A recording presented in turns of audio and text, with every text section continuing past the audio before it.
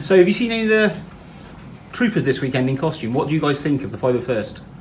What do you think of what? The 501st Garrison. Well, they're always good, aren't they? Yeah. Because you're you're very important. You you make money for people. You uh, do charity work and appear all over the place, and I think it's most excellent. And uh, all the guys I've met in the 501st have been, and ladies, have been ladies and gentlemen, really nice people. So I thank them for that. What's the 501st? It's the the, the um, how would you describe it? It's the- a huge it's- charitable organisation that's Oh, grown over the years and Yeah. it builds up members who go to absolute great lengths to create these these costumes and props. Oh, I get and, you. I you get know, you. you can all buy the them for stormtroopers. charity events. Yeah. I There a lot of those costumes in there that we're seeing out there. A lot of them will be. Oh, yeah, right, literally every okay. You're a bit like there. malaria. You're all over the world. Everywhere I've been. I think you're more oh fun than 501. there. Yeah. But you see more at events than you had when you were I've- I've filming. been injected. I'm all Oh, yeah. Yeah. Oh, it's excellent. We wanted to keep going. They, they did it with booze. That's always the best way to go, isn't it? Making friends. You enjoy getting heckled then? Ken, I heard a wonderful rumour years ago, and you may know if this is true or not, that George Lucas liked your character so much that even though you got taken out by an A-wing in Return of the Jedi, that he thought his head canon was that you survived. Have you ever heard that? And do you Never think you in my did? life. Oh, No, I, I was only in uh, as written in Empire, but he said there was a sort of fan response to the character. So he said, "Do you want to be in the next one? I've no idea what you're going to do.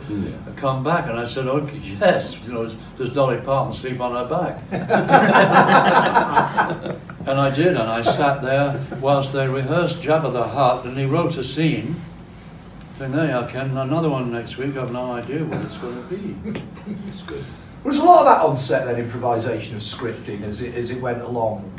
Or Sorry, rather, was was, there a lot of um, rewriting of scripting as it went along? Because of course we're meant to believe that George movies, um, you always do fifth rewrite that's been shoved under your door at midnight That's the it. night before when you were asleep and you wake up to, I'm not doing the scene I learned, I'm doing this bloody thing. And then you start working, it's rewritten again. Yes, That's the, that's the breakfast version, isn't yeah. it? And then they cut version. it in the edit Yeah. Mm. And you're just left raising an eyebrow. Which may well be much better. Have you, have you found that in all film and TV you've all worked on then? Uh, Almost exclusively, but I go Yeah. right back to the, the time of studio TV back in the Yeah. 70s and so on, when actually it was more like the theatre because you rehearsed for three weeks Yeah. Yeah. and outside, and then you went in for this crucial three hours when the Yeah. lines were open and all the rest. And it was of all live. You gave, you had one shot at everything. Do you miss live TV And if you made a mistake, you had to go back and You do the back entire the scene again. Yeah. Not Mm. just a bit because it was on electronic tape. That's right. Yeah. Except that difficult to learn. the, the floor manager um, had a, a, a cable Sorry. with like an old bell push on it, Yeah. and if you dried up, he would push he would push Oh, that, yeah. and that would deaden the sound, giving time to give a prompt to the actor. Right. If you didn't take it properly, then exactly as they describe, you'd have to start again. It's also quite was not unusual in that, that sort of circumstance when an actor would dry, that he would spontaneously burst out with what should we call an expletive. Yeah. Which of course is not so good on the finish if he's playing the kid or something like that. And I suspect that the, the floor manager would have had the same, would have seen it coming as the guy went. So you just see a guy going. so there was all sorts of tricks. But I, you know, I wouldn't say we need to go back to that stuff because the cinematography was nothing like as good as it is now. No. The camera's got the shot, cables switched across the floor and all the rest I of can remember big live cameras used for television. news Yeah. You Yeah. live. So this- is all live, yes. Well, that was uh, that was a training. Was it a better challenge for you then to do live than it is to do the modern I style never of did TV? live, but I did. I did that kind of recording, Yeah. which is almost the same thing. Yeah. But was it? It was just frightening live. What was it? What? No, well, well, well for right? me, well, because I was new to the medium, it was frightening anyway, so it was just the same. Mm, Um, I had no awareness of how much more it could be. Now, when I went back, they brought it back briefly, and I agreed to do one, and then I knew what fear was. Yes. Not I- the Doctor Who one. No, no, um, The Quaker a Nice series one. of. The Piers Haggard did the first one that I was in, a half hour about what was taken from that day's newspaper. Oh, great. Yes, that's right. And so the writers, three of them, sat Really in a current. room and handed you the scenes as they occurred to them. Hmm.